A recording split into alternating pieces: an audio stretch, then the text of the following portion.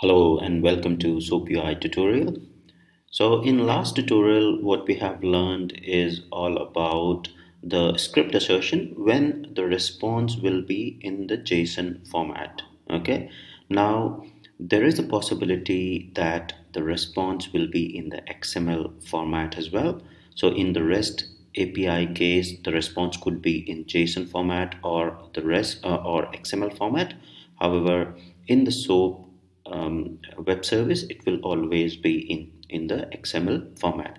Now what we'll cover in this tutorial is to do the script assertion for the SOAP request for which the response is in the XML format. Now this will remain same um, the, the steps will remain same even for the REST APIs when the response is in the XML format. So if you have to do script assertion when the response is in XML, you just follow the steps that I'm explaining in this particular tutorial.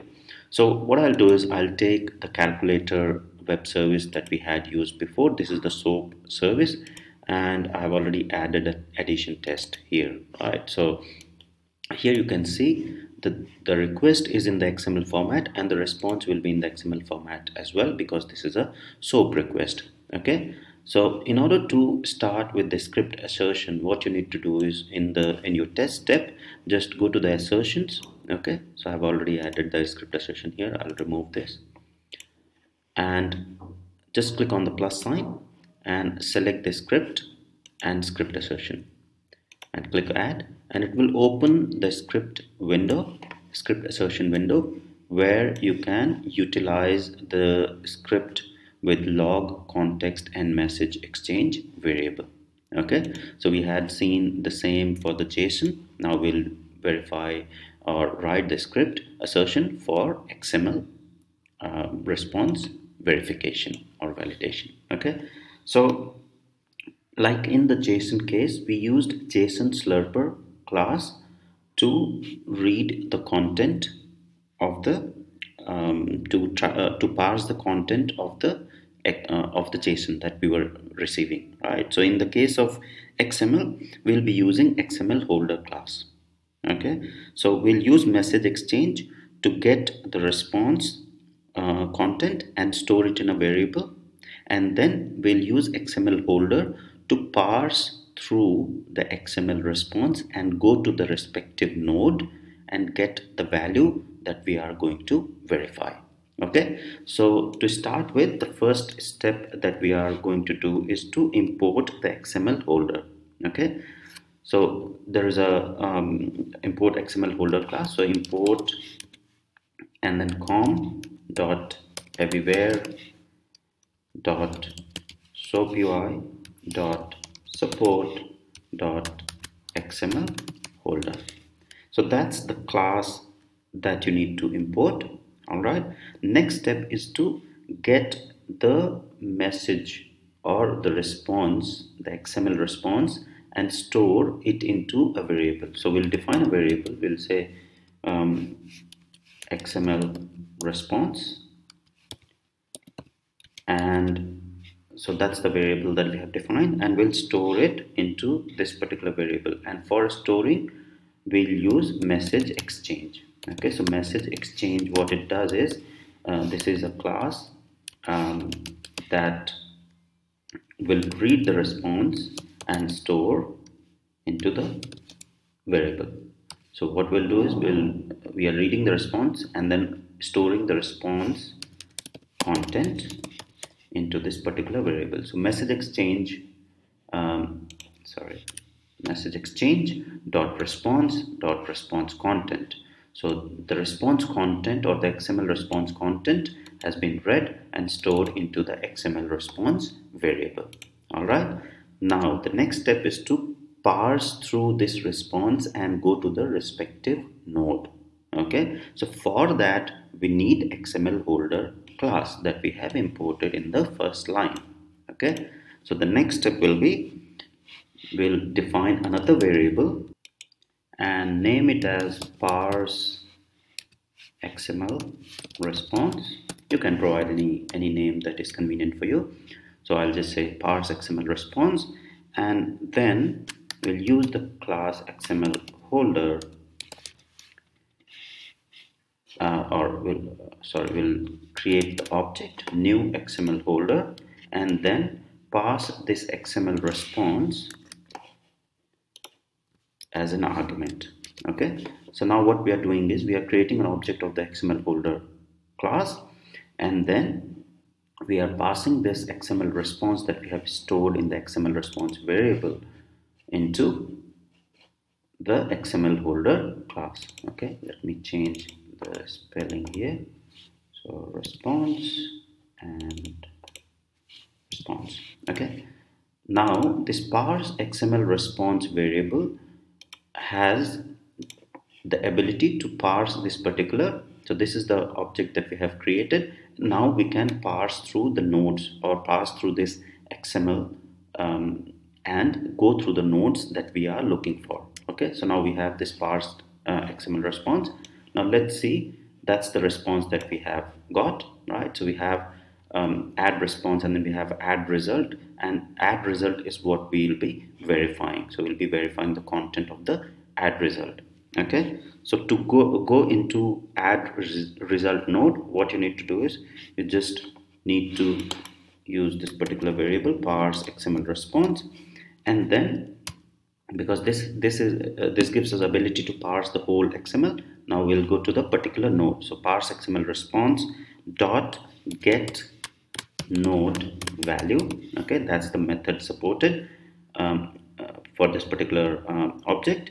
And we need to go to the node that we are looking for okay? And then you have to provide the XPath to go to that particular node okay? So for example here if you see the root um, so basically we'll start with the double slash okay?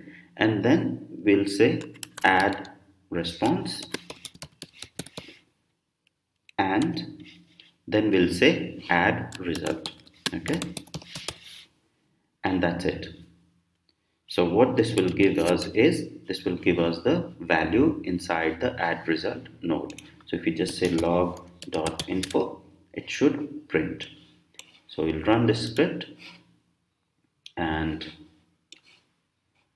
it says script assertion passed but it didn't print the value. Let's see what's the issue there. Okay so when you analyze this particular response here you can see that there is a namespace at top so xmlns um, colon so. So basically anything after colon uh, is defined defined is a namespace and if you see the add response there is no namespace or there is no colon and then there is no value there right? So if there is no namespace either you have to define it manually or you can simply say star. In this case if I say star and colon so it will basically take anything or um, all the namespaces uh, that, that wildcard and it should be able to print okay? So I'll clear these logs and run this again. Now you can see the value 4 is being printed. Now this will work in this case but not necessarily in all the cases right? So you can use star but then if it doesn't work the best thing is to define a namespace. So wherever the namespace is not there, you can define the namespace in the response. So in order to define the namespace, what you can do is um, in the script itself, you can say parse XML response. So this is I just pick this object, okay, and then you just say namespaces and provide the name. So um, namespace name. So I'll just say ns1 okay in square braces and provide the URL okay. So here we don't have the namespace so we just provide the URL for the URI uh, for the URI for which we don't have the namespace okay. So I'll just say temp URI dot org okay and close the bracket um, uh, close with the quotes.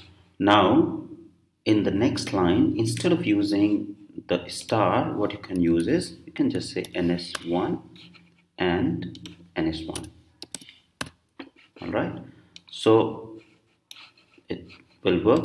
Let me clear the log. And if you run this now you can see that value 4 is being printed successfully. So that is something which you need to you know like figure out. And many scenarios you will see that the response doesn't contain the namespace. So if it doesn't contain the namespace use the combination of star or define your own namespace. Defining your namespace is the best um, way um, to make sure that you are able to traverse to the nodes of the XPath but you can also use um, the star in case you are able to figure out the value using the star and colon right as we have done in this. So now we have got the value that we are expecting okay? So the next step could be uh, would be to actually verify with the expected value okay? And where can you define the expected value? You can define the expected value at any locations. For example I can define it at the um, test suite level or the project level or test case level okay? So like addition addition test level okay? So let me click ok and let's define a custom property at the test suite level okay? So I'll say just say expected value and I'll say the value as 4 okay? And then in the script we'll read this value and then verify with the response now in the actual testing scenarios you won't be hard coding any of the values. Here you most probably will externalize the data into um, some excel sheet and then re read the data from there. But in this scenario just to give you an example i'm just putting the values here in the custom property of the test suite and then i'll be reading this value and asserting with the value that we are receiving in the response. Okay? So here now to read this particular value let me expand this window a little bit okay? So to read this particular value what we need to do is you can use the context variable okay? So context dot and then so currently the context is this particular request because this is the script assertion and this script's context is only this soap request. Now to change the context to the test suite what you need to do is you just say context dot get test case dot so basically currently context is soap request then we are going to the test case and then we need to go to the test suite. Okay so get test case and then get test suite and then get property value get property value that we have defined at test suite level and pass the name of the property value. So we'll say expected value. And if we print this we'll say just log.info just to make sure that it is picking up the correct value and run it. Now you can see two values are getting printed. First one is from the response node and second one is from the expected value. Okay? So it is getting the values that we are making sure that it's coming from the um, custom property. Now what we'll do is we'll define the uh, define the variables. Okay so we'll say uh, actual response and put the response that is coming in the add result node into the actual response. And then we'll define another variable expected result and put the value that is coming from the custom properties expected value into the expected result. And next step is to put assert. Okay so the next step is we'll assert that expected result is equal to actual response all right? And that's pretty much it for the verification part. So if you run this script now you'll see the script assertion is passed okay? Because the expected result that we are getting from the response is equal to the expected um, expected result that is coming from the custom properties of the test suite is equal to the actual response that we are coming in the response XML in the response okay so just a couple of lines of code and you'll be able to verify the XML responses using the script assertion. So it doesn't matter whether you are testing the REST API or SOAP. If the response is in XML, you can use script assertion and these uh, lines of code to verify the responses. You can try to play around a bit and um, try to get other node values and try to uh, make sure that you are getting hold of all these concepts. So it will be really really helpful in your actual uh, project testing. So hope you like the video. Please do share and subscribe. Thank you for watching